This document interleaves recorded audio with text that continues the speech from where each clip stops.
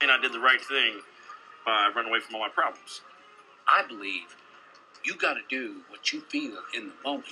You got to trust in your feelings.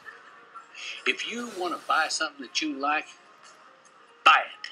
Don't worry about the money. You just buy it. If you want to have sex with a girl, have sex with her. You want to leave the condom off? Go for it. It feels better that way. It does. I think you got to do exactly what you want to do, no matter what. This makes so much sense.